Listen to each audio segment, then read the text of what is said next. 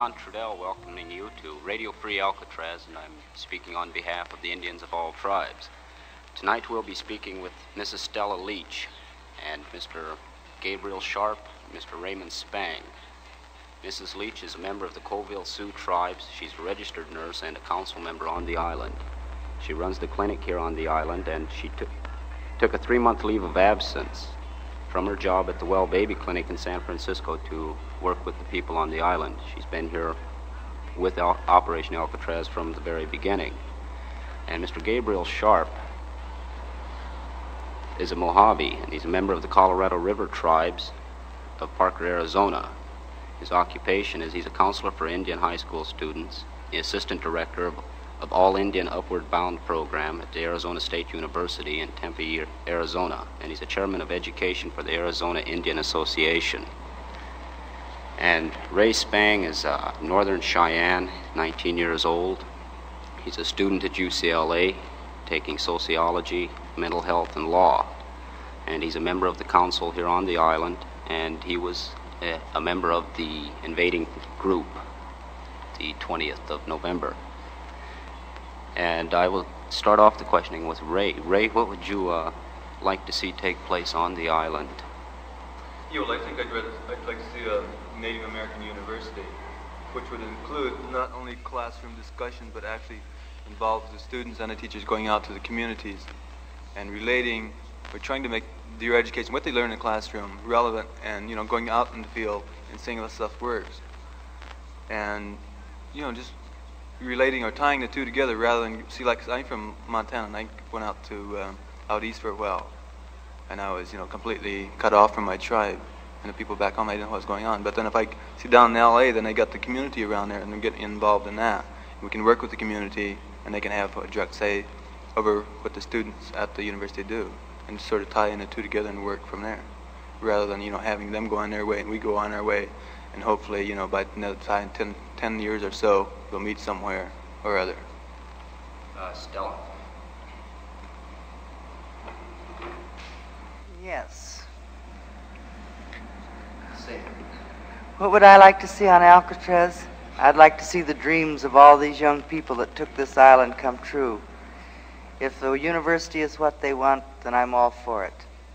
Whatever pleases our young people, because to me this is the greatest thing that has ever occurred in my generation to these young people. To see our Indian youth take their place in society and once again become warriors in our society, men in the world. Uh, Mr. Sharp, same question. Uh, what I would like to see um, Alcatraz become uh, would be in the minds of the, those people called Native Americans. I believe that uh, uh, we are we are always talking about dreams. Some people call dreams dreams, and some people call these dreams imagination. And by the, our mind power and thoughts, we can create. I see a beautiful dream here on Alcatraz in terms of a piece of earth that God gave to the Indians will revert back to the Indians, and out of this will grow something positive that really is Indians, that belongs to the Indians, and it's not uh, government control or state control or uh, controlled by other peoples, but something that really belongs to the Indian himself. I, this is a, a dream that uh, I feel that uh, some of these youngsters uh, um, came on this idea to create, came on this island to create, to work with these ideas, and it's a beautiful dream. I'd like to go back to what Stella mentioned about this is the first time that we have done anything as a group. Well, the youth have gotten together. And why do you th- uh, think that we have? Uh, we ha- this is our the first time that we have ever really gotten together and done something in the national eye, so that the public is aware of what we are doing, the circumstances leading up to this. Well, in my lifetime, I've always found that the bureaucracies that controlled the Indians' destiny has always impressed upon the Indian that they could never get together. The tribes, there was such a basic difference between our tribal cultures and our philosophies that we could never unite. Well, here on this island, you can see about 70 different tribes working with each other in friendship and complete cooperation. And of course, this is very, very fascinating to me to prove to the Bureau of Indian Affairs and other establishments that once again they are wrong, that Indians primarily are the same. We are all Indians underneath, regardless of our culture or our geography. Yeah, I did some reading on this, uh, some books on Indians, and I read that the government started a policy several decades ago, a couple hundred years ago, of breaking down the Indian, not only as a nation, but as a tribe, as a family, as an individual. And uh, they did this job and they accomplished what they set out to do very well for a certain period of time. But I like to believe that uh, they took they took our lands away. I don't like to believe this, but they did take our lands. But I like to believe that that we haven't been defeated. That uh, and this I think this is the first really big chance we've had to show that we're still together and that we're willing to work together. And this is something that other people have got to learn to do. And it's taken us a long time, and there's a lot for us to do, but I, we're in the right direction. Ray, do you have any comments to add to this? I don't like to think of ourselves as being defeated either. When I look as you know, look at things factually, because you know, they're, the United States has stolen land, and they still are stealing land. And they still got the reservations. They still have prejudiced teachers. The educational standards are what on the fifth grade level. I mean, after 400 years on a fifth grade level, uh, we got the lowest death rate, and you know all these statistics. And people say, you know, they think of them as being in the past century. They say, well, my dad, my dad might have, you know, participated, my grandfather might have, but not today, you know. But if you go back to any of the reservations and just look around, live there for a week, and you know, you find out it's true. It's, you know, it's it's really done. And about this dying out, see, like we've been here for 20,000 years before the white men ever came, and 400 years and what 70 some years he's been here and only in the last 50 years has he's really taken over, you know, with the factories, the pollutions, cars, smog, birth control pills, uh, then the race question is coming up. And see, in 50 years, the white man has really messed up. And we've been here all along, and we're still here, you know, so there has to be some value. Because, you know, after they subjugated us and divided us and beat us down and beat us over the head with a Christian cross and things, we still have our culture after 400 years. I mean, you know, where else is there another people who has been so, so subjugated and so small and yet still to retain so much. The only other people I can think of that would fit into this category would be the the Jewish people, and uh, they have seemed to what it has taken them about 400 years to kind of get things going for them. But that's the only other people I know of this really happening with it have taken a lot from a lot of uh, harassment, I guess, from other peoples and other races because we as a nation have suffered more. We're the only people to ever fight the United States government and suffer and pay for it continuously, even though the wars are supposedly long gone and over. We're, we pay for it every day. And uh, I would like Mr. Sharp to. He was talking on the boat on the way over here today about an incident that happened with Lee Brightman, and I would like to have Mr. Sharp uh, give us the details on this. Mr. Brightman came over to Arizona. Um, I believe it was uh, sometime in uh, November. Uh, he got an invitation from from the Phoenix area, and uh, he um, I I work at the university in one of the offices, one of the Indian offices. So uh, Mr. Uh, Brightman came to our office. Um, he was um, a fellow Indian brought him over, and he talked to my boss. Uh, I'm assistant director of the Up, All Indian Upward Bound, and my boss is the director.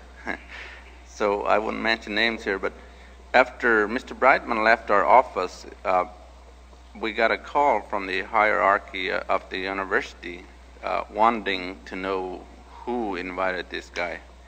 Uh, uh, the most in, another interesting part to this is uh, Mr. Brightman was taken over to the Indian Community Action Program uh, office, which deals uh, works with Indians uh, in Arizona, in California, and uh, New Mexico. And the with the got a call from the governor's office, the governor of Arizona.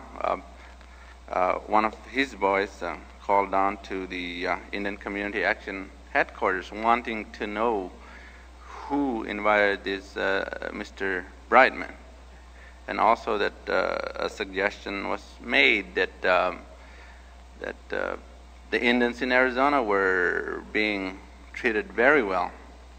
Uh, and this, this, was quite interesting to me because I've been working in Indian affairs uh, for a number of years and I've lived on reservations and and I've seen uh, some of the conditions uh, there on, on reservations. On the Havasupai reservation, I, I, was working there for a number of years in the bottom of the Grand Canyon. And you would see a five year old youngster for having for breakfast a, uh, a dried up old tortilla that they had the night before and a cup of coffee. Uh, and this would go on morning after morning. And uh, I was, I guess, uh, at that time I lived in a nice white house, and boy, did my conscience bother me. Well, this type of conditions exist all over in, in Arizona, in, in some of the 17 reservations there. And, uh, but I think that uh, the most interesting part was the comment saying that uh, Arizona Indians are being helped after people trying to help Arizona Indians uh, since the Indian Reorganization Act and since the we greeted the pilgrims, uh, we still haven't gotten any place. I just I just wonder if who is really trying to help who.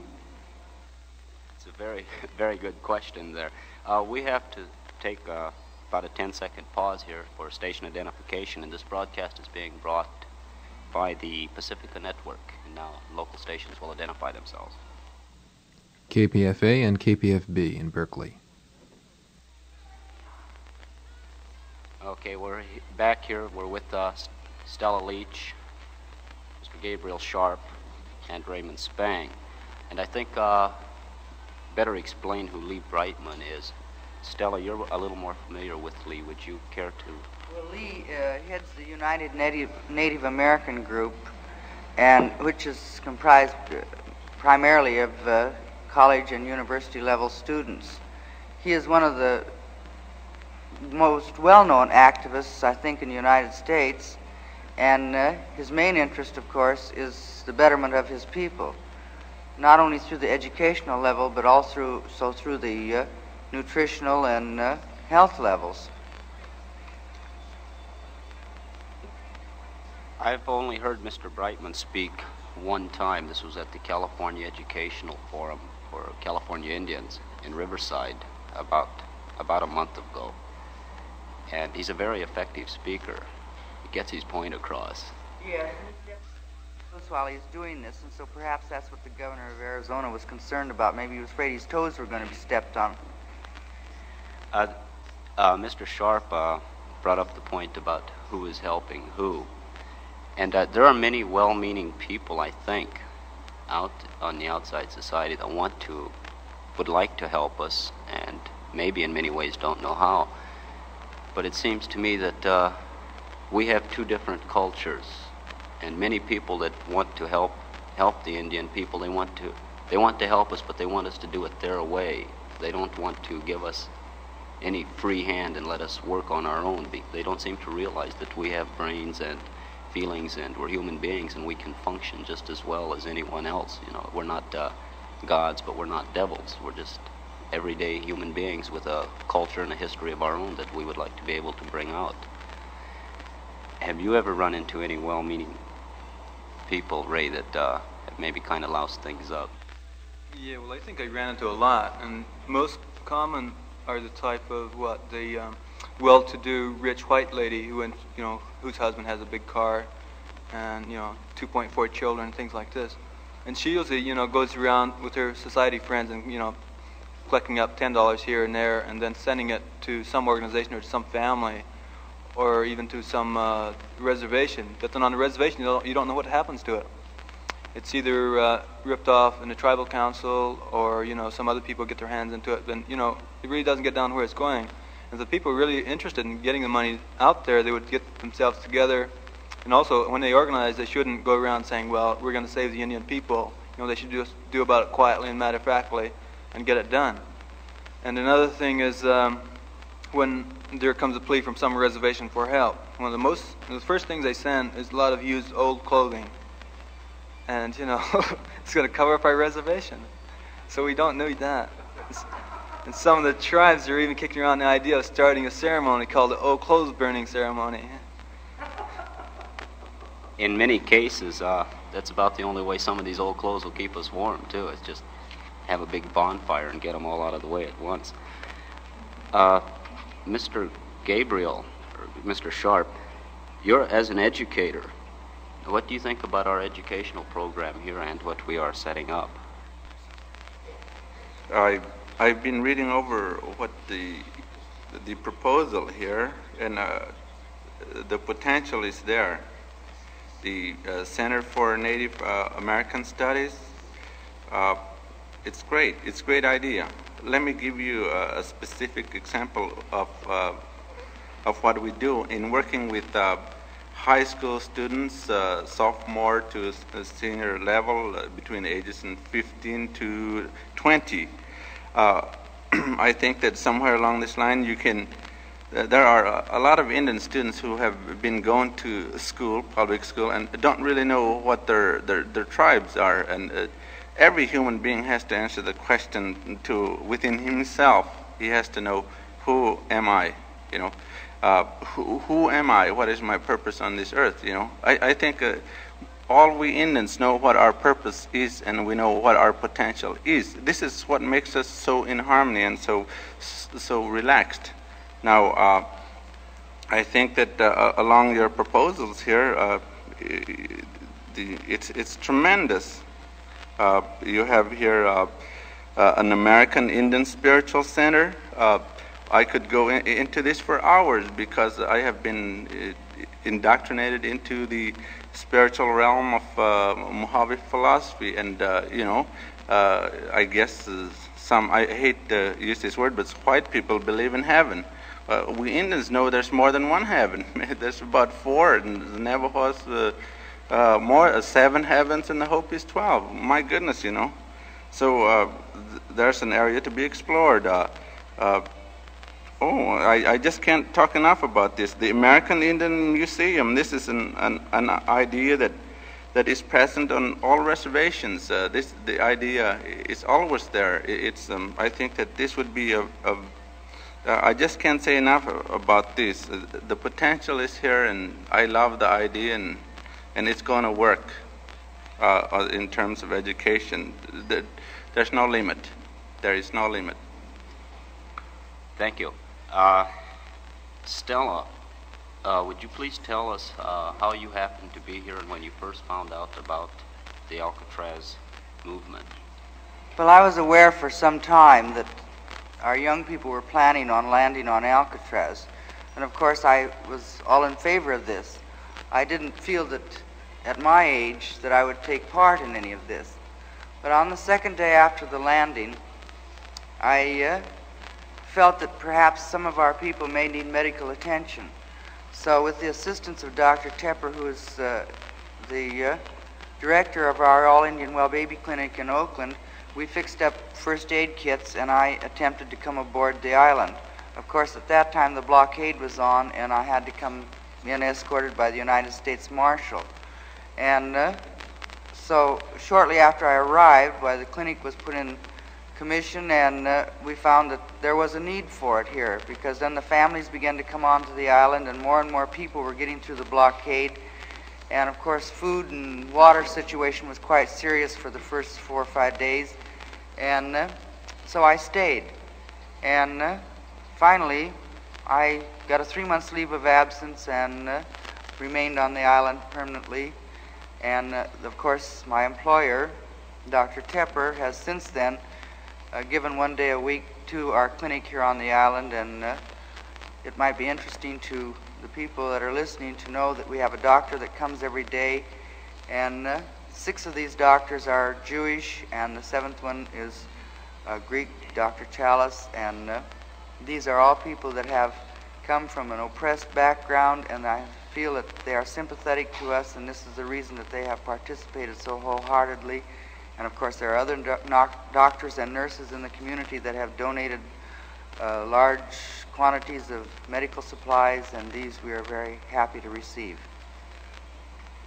Uh, that brings to mind uh, right after the, about, I guess about the first two weeks after the occupation of the island, that the GSA and the Public Health Department made threats to remove us from the island because of improper sanitation facilities on the island. They made statements that they may have to remove us. And that kind of struck me as being rather funny because they let us live on reservations under the same circumstances, and uh, they haven't threatened to improve these conditions or drag us off and make things better for us. But all of a sudden, we're on this island, and they want to do this for the people that are on the island, and somehow I just don't think that uh, we would benefit all that much from it. Uh, Ray, what uh, is it like on your reservation at home? Um, yeah, well, my reservation is mentioned in uh, the New Indians, and it's a small town, it's in a valley, it's a population of maybe a thousand. We've got a state highway coming through, dividing the town into two. One side's uh, agency controlled, meaning like, like shutters and lawns and cars and sidewalks. Then on the other side, there's a craft cattle guard in between there. And on the other side, we've got the highway, then we've got the town, and above the town, we've got the got three main areas of where the people live. And so there's three groups, the Indians and the townspeople and then the agency people. And there's a lot of, I guess, what, fighting, I guess, among the agency kids and the Indian kids and the white kids. There was anyway, and now it's, you know, it's a little bit more co- covert than it was. And we do have Indians who work for the BIA and they stay on the agency side. And, you know, among all the Indians, there's a current term called, well, it has been passed, called agency kids you know, referring to the Indian kids who lived on the agency side, who are brown or little brown Americans, essentially. You know, they have no culture. They don't associate with the Indians because the Indians are Indians. You know, whatever that connotes to them. And we have what about two gas stations, one store, about 12 religions, and one main street. That's about it.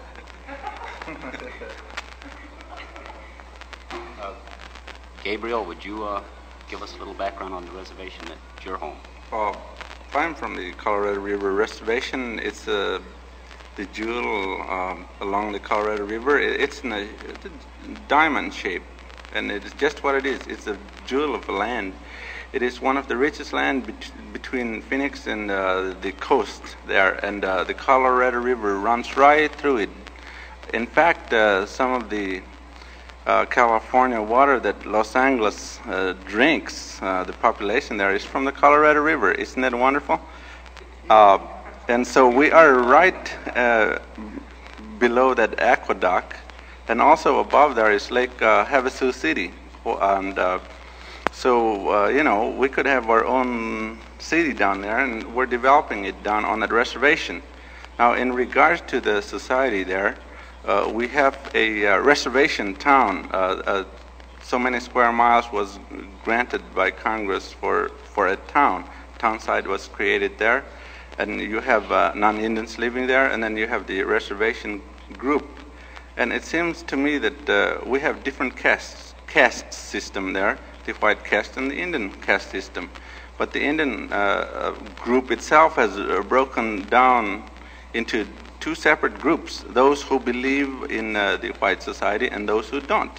Those who don't uh, want to sing their own songs and go their own way, and uh, they have to go on the California side to sing. So they gather there every Sunday and they sing songs. Um, this, this group of people are, in terms of tribal government, and we do have a tribal government there and a tribal council there. Uh, they don't. Uh, they feel alien, alienated. Uh, they feel aloof and apart from the council, and this cr- creates a, a, problem there. And and but it's still a potential. 98% of the people in our reservation spoke English in 1958. And right at this time, I imagine uh, 100% of them speak English. But we still have the same old problems. We're still, they're still poor Indians, and a whole lot of them. Uh, so learning English and going through college doesn't mean a thing. It, it, at that point in time, when you have to re- return back to the reservation, you're not in the in group. Uh, uh, with a college education, one could be uh, the janitor over there on the reservation if you don't go with the don't follow the BIA policy or tribal policy. You know, so uh, it's but it's still positive. It's still a jewel. It's, it's still land, and some of the other Indian people who really follow the Indian philosophy and the Indian way of thought are now beginning to get into the government. And slow, um, this last uh, election last year, a year ago, in uh, December, uh, 50% uh, of the council there uh, are were under the age of 35, and we have a, a real young tribal council chairman there, uh, but 27 years old, and this is great. Uh, there's a change coming, and it's going to be positive for our reservation. But I think that we're going to have to set up uh, an, um, cultural studies, uh, studying about ourselves and learning to talk our own language again. Over.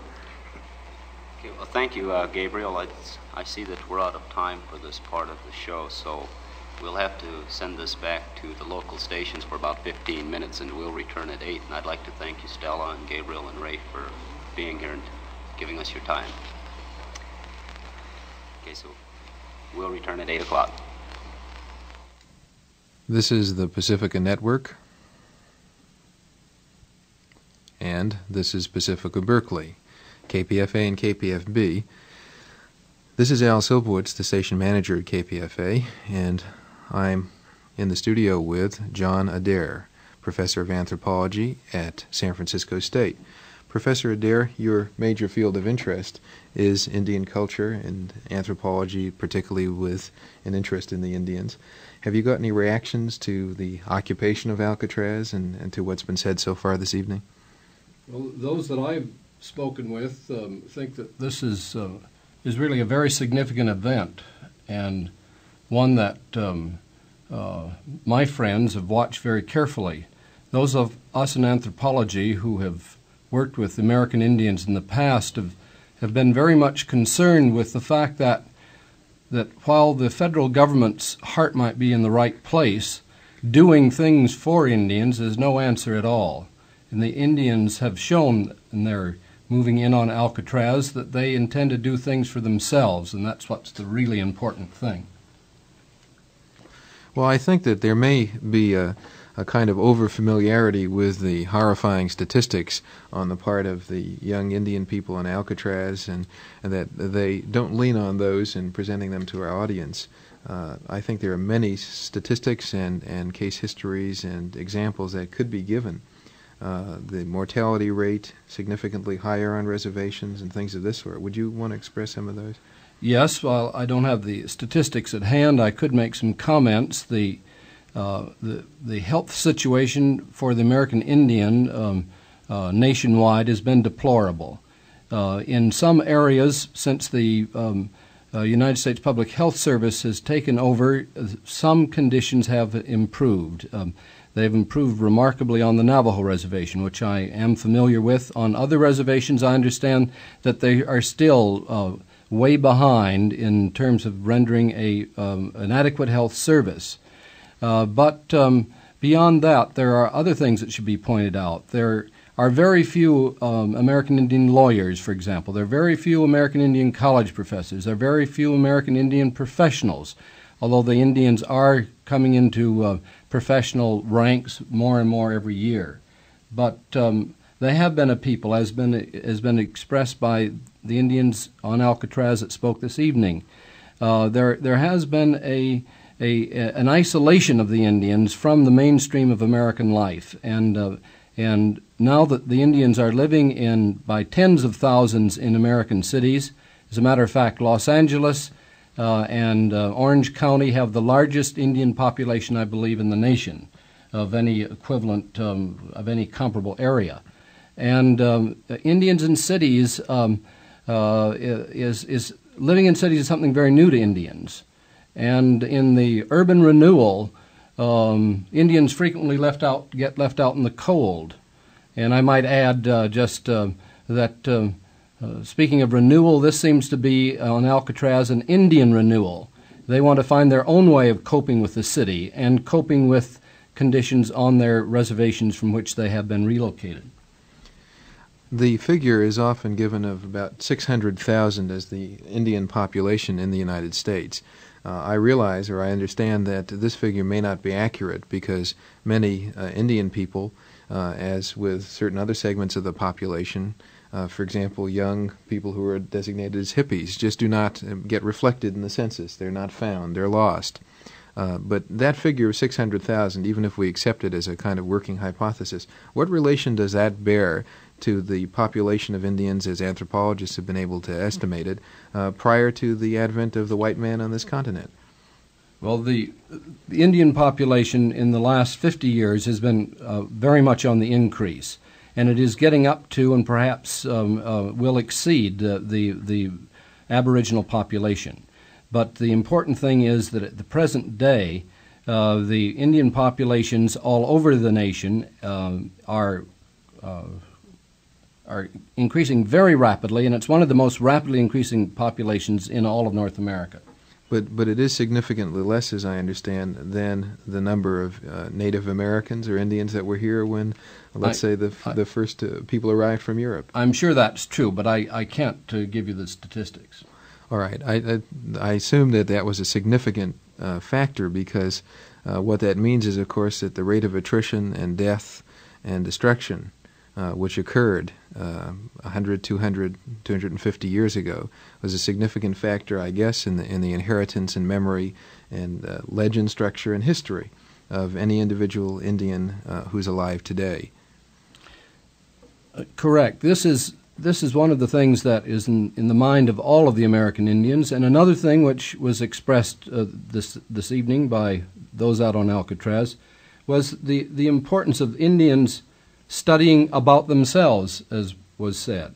A, a chance to educate themselves as to what their Indian heritage is. Now, in certain areas of the country, um, the American Southwest, for one, the American Indians' culture is still very much of a going concern. Their religion is still with them, and they, they practice their religion in their daily life.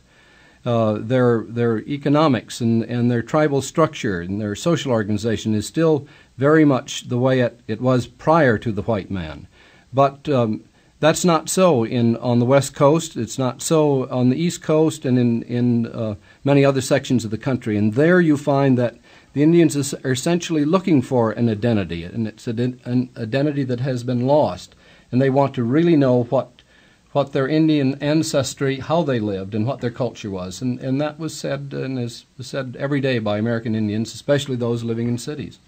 I, I have this reaction every once in a while to the conservationists' actions on behalf of things such as redwoods and uh, uh, disappearing species of animals uh, that they're very concerned about this, as indeed I think is a large proportion of the population, as I am myself. But at the same time, I recall the very interesting, fascinating book uh, called Ishi, which was a, a, really a description of the last remaining person from a tribal group, a group of human beings who inhabited, uh, lived in the state of California before the coming of Europeans, I suppose I should call them, because they were not all white, as a matter of fact. Uh, and I wonder about the feelings we have about the disappearance of intact, complete cultural groups, which has taken place in the past. Groups of people who shall be no more, whose culture, whose human culture has completely disappeared except for artifacts. This, of course, is, is, the case not only with American Indian, but it's true all over the world in, in um, Southeast Asia, the mountain tribes, and in Africa. And wherever one would look at tribal life, one finds that with the passing of every year, uh, a significant number of cultures are, are, lost from, from the world. The and that again, I think, is is the real significance of Alcatraz. The, the, the American Indian does not want to be lost. He does not want to be swept into the mainstream of American society. They do not want to be homogenized, as they say. And um, and many anthropologists and many sociologists lately have, have realized the wisdom of their words in, in not wanting to get lost in the mainstream. What they need is their own thing and, and their own identity. I'd like to ask you briefly about the, the field of Indian studies as it's, uh, it occurs in anthropology or related fields. Uh, is that an area of interest amongst anthropologists and professional people in the academic field, or is this something which has uh, gone into eclipse? I know there was a time somewhat earlier when this was considered uh, a, basic, a basic uh, major field of study. The uh, American Indians, uh, as a, uh, uh, I want to be sure that I have your question. Um, is your question is the American Indian as a subject in anthropology still a, um, a going concern? Is, is that your question? Well, uh, really, I think a little broader than that. The field of Indian studies, which would be, of course, I think, include the earlier uh, study as well as the, the current situation. Well, the I'll answer the question this way. The uh, prior to this, the the anthropologists um, and other social scientists were, were those who, from the outside, had a, a great interest in, in the nature of Indian culture. Uh, in, in recent years, uh, American Indians themselves have wanted to be participants in this study. And I think this is a, a, significant new movement in anthropology itself that's just getting underway, what one might call in culture research.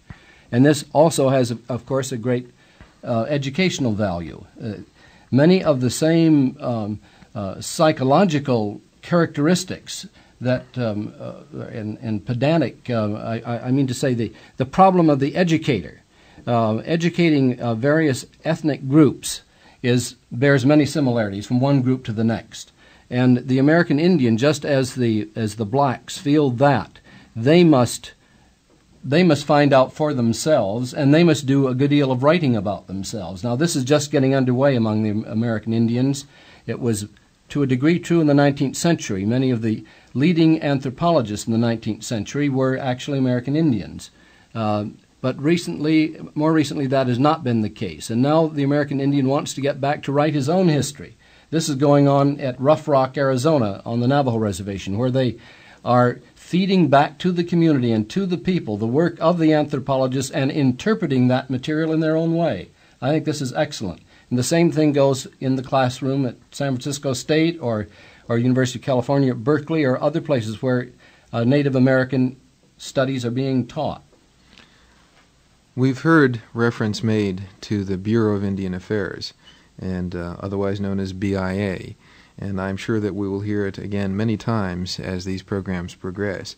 Could you perhaps describe uh, what the Bureau of Indian Affairs is and a little bit of its uh, history and relationship with the Indian people, just even in general terms, so our audience may have that in, its mind.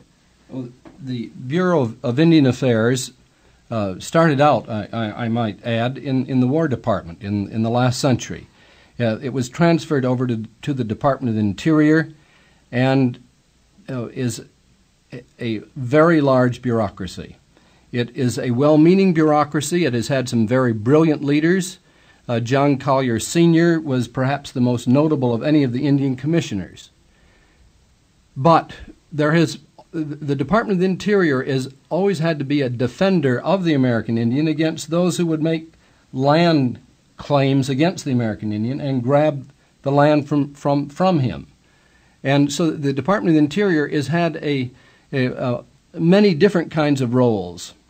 And and there has been, of course, in the past, in the distant past, uh, a good deal of corruption within the federal government. That has not been so in uh, under the Collier regime and un, under recent uh, Indian uh, under recent commissioners. But nonetheless, it is such an enormous bureaucracy that it is very difficult for the Indian to get to have his own voice heard, even if an Indian commissioner is, even if an Indian himself is the commissioner which is the, is the present case, and, and uh, the case of the last uh, commissioner was also an American Indian. But the bureaucracy moves very, very slowly. and uh, it's it's off in one little corner in Washington. Uh, the Bureau of Indian Affairs does not lead to other kinds of career jobs in the American uh, uh, in, in, the American uh, in the life of the American civil servant. It's a dead end, and very frequently uh, people just get lost in that bureau, and they, they do not become effective, and they become demoralized. The same thing goes for Indians who have joined the bureau. We've got about a minute more before we go back to Alcatraz, and I'd like to ask you as a concluding question uh, what your reactions are to the ideas that were promulgated uh, as far as the use of Alcatraz. For example, uh, the setting up of a Native American university. How do you react to that? I, I think that this is, is a, a marvelous idea. I would see no reason why that cannot be done and done effectively at, at Alcatraz, here in the middle of, a, of um, the Bay Area where there are excellent universities that have had a long interest in, in uh, ecology and in American Indian studies, what could be a better uh, site for such a university? And I think that the, from what I know and from what the Indians have said this evening, they want to extend their, their services and their educational services back to their reservation. And um, speaking of ecology, I think this in itself is, uh, is, is another excellent thing about the, the, the takeover of Alcatraz by these Indians. Uh, it will be of great significance to see how they can relate to that environment and how they are able to improve that environment. And this is KPFA and KPFB, Pacifica Berkeley. This is the Pacifica Network. We now take you back live and direct via radio link to Alcatraz. Welcome back. This is Radio Free Alcatraz from Indian Land, Alcatraz Island in California. This is John Trudell speaking for the Indians of all tribes, and for this portion of the show, we have with us Mr. Richard Oakes, Miss LaNada Means, and Mr. Earl Livermore. Richard Oakes, as many of you may know, is a Mohawk Indian from New York, the St. Regis Reservation, Quebec, Canada. He's a council member now. He was with the initial invasion, and he's also a San Francisco State College student. And LaNada Means is a Bannock Indian from Fort Hall, Idaho. And she's a college student also pre, in pre-law at the University of California at Berkeley. And she was also one of the first 14 to land on the island. And we have also with us Mr. Earl Livermore, a Blackfoot Indian from Montana, who was just appointed coordinator for the Alcatraz movement. He's also the ex-director of the San Francisco Indian Center. He's an artist, and he has been with the movement from the start. And so the first question I'm going to lead off with, because Richard just mentioned it to me, is at this very moment, what are one of our most important needs on the island? Yes. Uh, at this moment, we need water. Water was our, uh, when we first came on, was one of our most outstanding problems, and it still is our problem now. We had, as of two days ago, uh, 25,000 gallons. Now it's down to uh, a critical level, and we're in dire need of water. Okay, so if there's anyone out here in the San Francisco area that can uh, give us a hand about getting some more water, we sure would appreciate it. Earl, uh, as an artist, what would you like to see developed with an art program on the island? Well, we're already in process of looking for a site to develop an art studies program. I've had a friend of mine uh, look at a site, and uh, we're thinking of starting a program immediately if we can get the art supplies out here on the island. We would like uh, to work toward developing a uh, culture center. We know that there are a number of Indian art organizations throughout the country uh, that can help us uh, as far as getting uh, the art uh, to to this to the area if we want a national art exhibit. Well, I think it's uh, to people that know anything about the Indian people that Indians are just, as a, a race of people, naturally artistic. Come out with many beautiful designs. Uh, as a matter of fact, one of the boys that's here for the conference today that we held is, uh, spent the night at my house down here on the next level. And he did a painting this afternoon on the wall of an Indian riding a horse, and he did it in about an hour's time. You know, it's a very good job. He's never had any artistic training. And also, uh, There's a gentleman from Canada. His name is Allen Sapp, and he's a Cree Indian. And he has just, he's starting to get public attention now as an artist. And he is self-taught. He's, uh, his paintings are reaching the bracket now, the five, $500,000 bracket. So he's starting to get a move on in the art world. Uh, they had a showing for him in Los Angeles not too long ago, and I got to meet him. And he told me that he does all his paintings from memory. You know, just just things that he doesn't use any models or anything, and he's a very capable artist. Uh, I had uh, what's this? Oh, being as you were one of the original 14 to come out here, one of the invaders, why did you join this movement? Well, I guess it's it's a lifelong thing. You don't just. It's hard to say that you just jump into it and you join it. Uh, it's from it's it comes from way back from the reservation and the type the type of things you see your people going through, the type of things your family goes through. It's all affected me personally. And I guess that's why I went into the area that I did and or I'm going to major in law. I mean, I'm in pre-law now, but I'm going to go into law later on. It's it's like I said, it just isn't something you jump into. It's something you've kind of grown up with. Richard, same question to you. What uh, motivated you to join this movement? I have a similar answer to LaNada in that uh, I was involved in the 1959 struggle on my own reservation, uh, trying to blockade the, uh, the, the building of the Long Sault Dam, uh, the Seaway project, which was taking parts of our reservation up there without compensation. Also building of a bridge uh, from the United States to Canada on the reservation and building of uh, facilities to house the, the maintenance men and the various aspects of the bridge, all on Indian land without just compensation. So it's really been a, a deep part of me to uh, try to rectify some of these. Now we feel that we're in a position to, to uh, do something about it.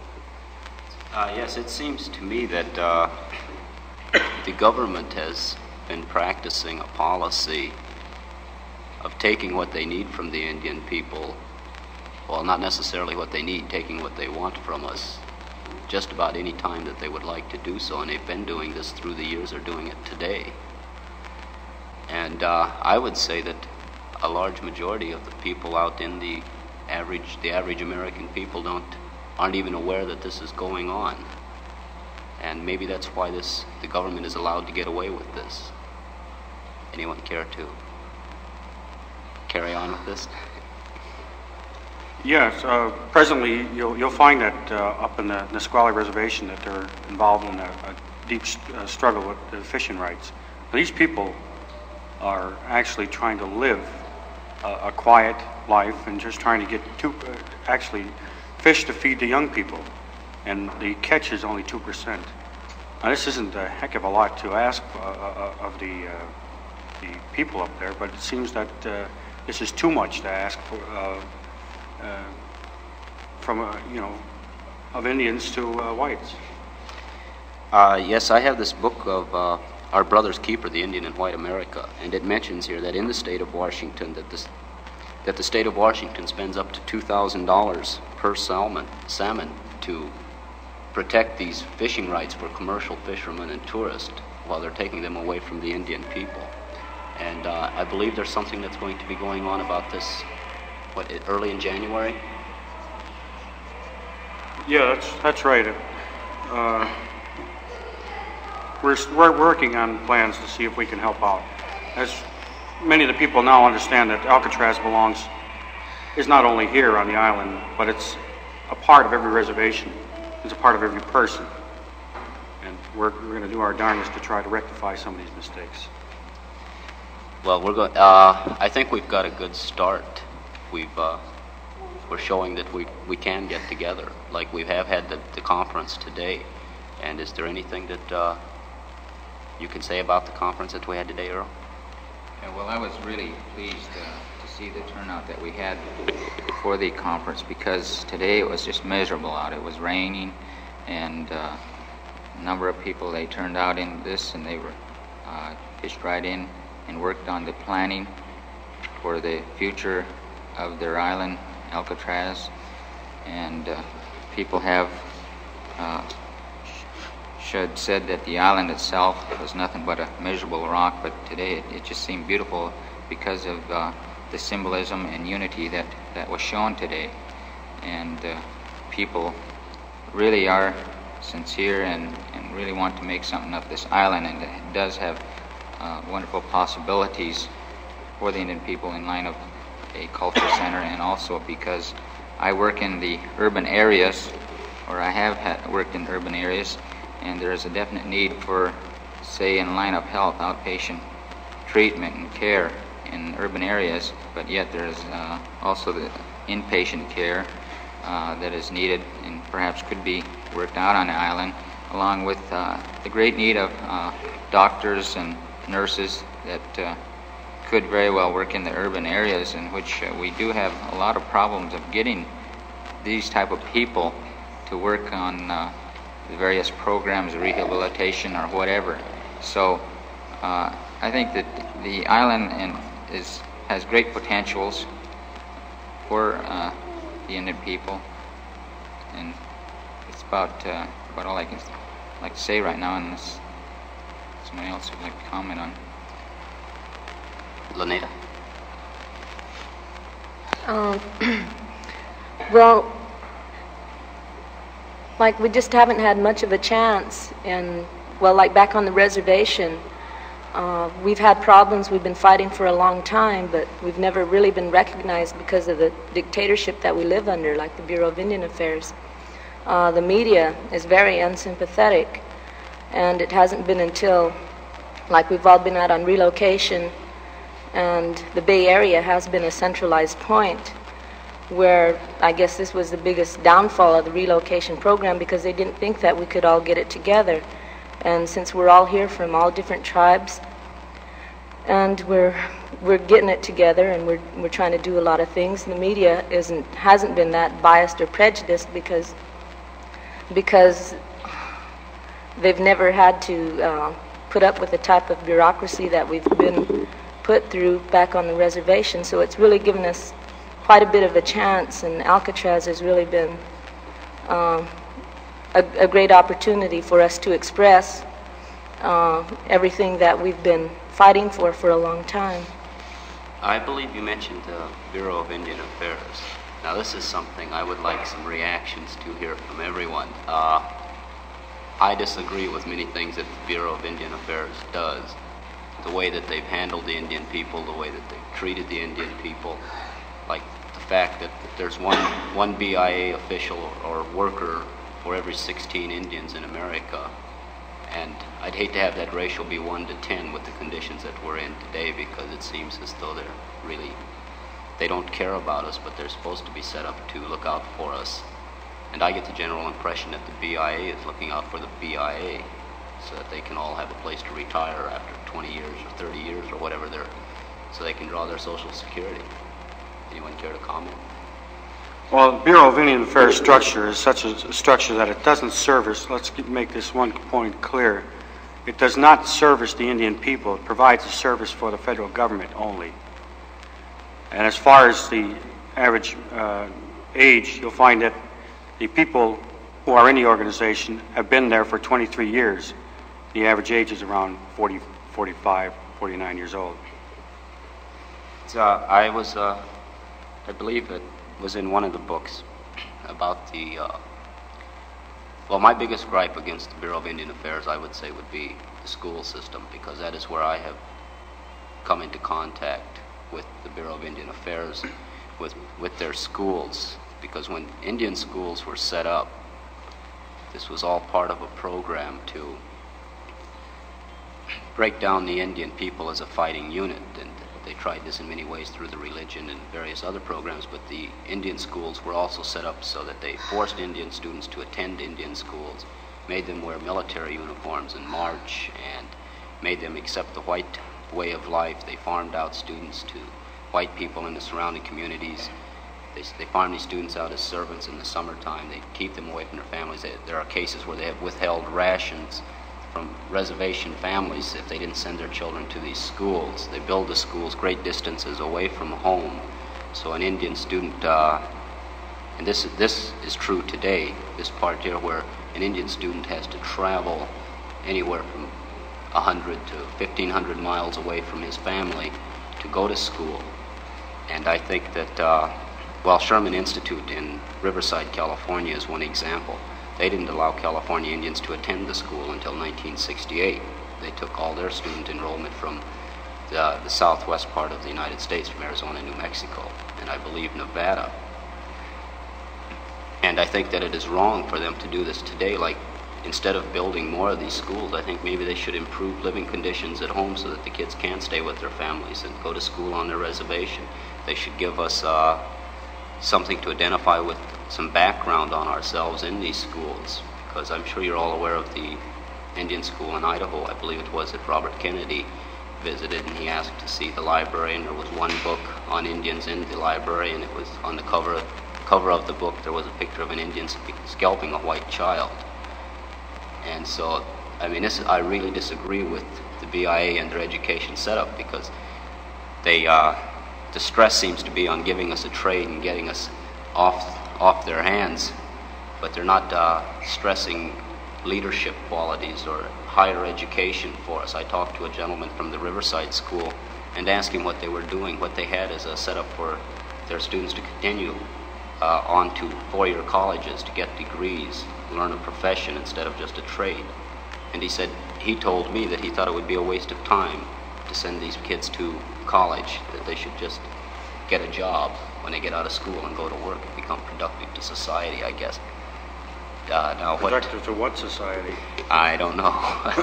well, you see, the situation is that it, the whole school system, the BIA school system, should be chucked, should be shelved and restructured, but restructured in such a way that the Indian culture is revealed, so that the Indian person going to these schools, if the schools are still in operation, will get the knowledge and understanding of who he is, what he is, and why he's in that situation, as well as an understanding of the different Indians uh, surrounding him and yeah, different Indians in the whole United States and Canada, Alaska. We have a great uh, history, and I think it should be brought forward. Uh, was in one of those schools, and I think LaNada can uh, talk better on it than I can. Uh, well, I just want to say that, um, as he mentioned, uh, the school in Idaho, I went to school there. It, however, it was a public school on the reservation outside um, in the na nearby neighboring town. Um, I went to this high school, and it's typical of the of high schools surrounding reservations, meaning that you don't have much of a choice as far as your education, uh, the people who uh, are in charge of you, or your teachers and all, uh, teach things in their classes like uh, no Indians or dogs allowed, and when you're the only Indian sitting in the classroom, then it uh, really makes you feel bad, or uh, Indians are, you'd rather, what is that term? You better be dead uh, than an Indian or a good Indian is. Good Indian is a dead one. Uh, yes, I was, I was in a classroom when the teacher said that, and I, I nearly died of embarrassment. But I, I did say something about it, and I got kicked out of the classroom, and I had to go to the principal, and they gave me a bad time there. Then I eventually got kicked out of school, and then from there on, I was uh, too young to quit school, and so my other alternative was to go to reform school. So with that choice, then then they offered uh, BIA school. So I said I'll go to the BIA school. So I went to uh, South Dakota the first time, which ended up to be a private Indian school, and I had problems there with uh, the people trying to regiment the girls, where we had classes that were actually just taking care of the headmaster and headmistress, headmistress's home that they called uh, home ec, but was actually just being their personal maids and servants. So I got expelled from there, and I, they sent me to Oklahoma, uh, Chilocco Indian School, where I had problems there after about six weeks, and they expelled me for inciting a riot, which wasn't like that either. It was, I was just speaking up for what I felt was right, and I got kicked out again, and then they sent me to a school in uh, Nevada. I went to Stewart Indian School, and I couldn't get in there because my I didn't have any records or something like that. So I got to, I went to Carson City High, and I went a half a day. But by then my records were so bad they they expelled me in a half a day, and I had to go see the chief of police and the judge. And then they were ready to send me back to reform school again. So I just said, later, I've, I still have parents, I'll just go back to my reservation. After I got back to my reservation, and luckily enough, my parents were understanding. They didn't denounce me in the way that the Bureau did or the rest of the people at the agency did, but they just said, well, I'm glad to know you're still, you know, you're still you. And I didn't know exactly what they meant at the time, but Later on, I found out that they meant, I'm glad you didn't get brainwashed. So it, it was all um, part of the great de-Indianizing process or brainwashing process that I went through. I went to, uh, uh, they sent me out in the summertime to live in a white home where I earned $5 a week as a personal maid, and then the money was sent back to the school, and the school never did accept me back, so they, they took all of that. It was it was really uh, it was really a hard blow on me psychologically. I I never did finish school. I went to the ninth grade, or I completed the ninth grade after everything was added up, and yet I, I still didn't exactly want to quit there either. And that's when I came out on relocation to the Bay Area, and then I tried to get into the University of California, where I was turned down. And then, after a year or so, with backing of some people in the Mission District of San Francisco, where most of the Indians are located or centralized now, then uh, I got in as a token Indian in the EOP program because they didn't have any Indians in. I summed it up pretty fast, but that was just a. It's a whole life story right there. It's uh, no, not exactly. well, even as a token, you got in as a token. The thing is, you got in, and so now we can get more of us in there. And, uh, but they don't even give uh, other Indian students that, that much of a chance. I mean, you don't even get your foot in the door anymore. Well, we're going to have to change that. Something has to be said about those. Um, uh, right now, there's a, a, great many schools starting their Native American Studies programs. These Native American Studies programs are still skeleton structures. They still are uh, not. They they aren't the answers. You know, uh, for the education. The answers, the, some of the the actual material has to be gathered from the fields. I'm talking about the reservations, so that they can be incorporated into a school system, so that they can be put into a workable curriculum, so that the individual can learn and profit. And in turn, when a person gets his degree, he can return to the reservation and use this knowledge. It then takes the form of useful knowledge of which he can service his people, his or her people. It's, uh, I know while I was going to college in San Bernardino, I never, American history was a required subject, and I didn't graduate from San Bernardino. And one of the many reasons, but one, uh, an important reason to me was I never took American history because I didn't feel that I should have to take this, this history class that gave no identification to the Indian people. It, uh, because there are many important things that we have contributed to the American society, and without Indian, without the Indian people around, or if we, if the early, the Indians uh, that were around Plymouth Rock had wanted to make things difficult for the first pilgrims and people to come over, they sure could have done it. It uh, the white civilization that came over.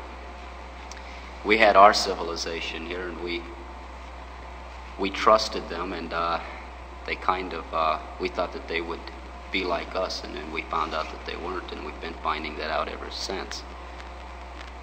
You know, there's a lot of shams that have been perpetrated against the American Indians. Some of them right, right quite recently. this Alcatraz movement has inspired a lot of people to sort of make, it's a quick buck thing if, if, uh, for some of these promoters. What I'm talking about is, we on Alcatraz are denouncing the Indian Creek celebration, which is supposed to take place the 26th to 27th